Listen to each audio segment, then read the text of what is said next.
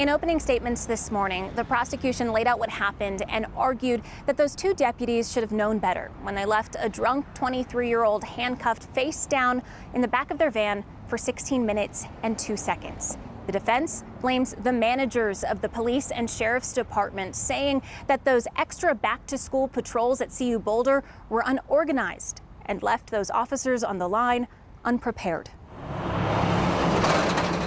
Nearly three years ago, a 23 year old was walking home with friends after celebrating his birthday when he sat down in the grass at 9th and Canyon in Boulder.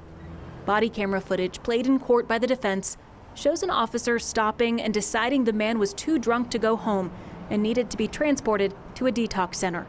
Detectives would later learn his blood alcohol content was 0.352. Video shows Demetrius Shankling, or Debo as his friends and family call him, handcuffed and put in the back of this transport van, face first, by two Boulder County deputies. Adam Lunn and James O'Brien are seen leaning against the door of the van to try to shut it. The defense says Shankling was pushing back with his feet. The prosecution says the six foot tall man was too big to be lying in the four foot nine inch compartment. When the deputies arrived at the detox center, Shankling wasn't breathing. A forensic pathologist called his cause of death positional asphyxia with alcohol and amphetamines contributing. That means Shankling didn't have enough oxygen going to his brain based on the way he was positioned. In opening statements, the defense attorney said Lunn and O'Brien had never driven a transport van and were not trained on how to use it.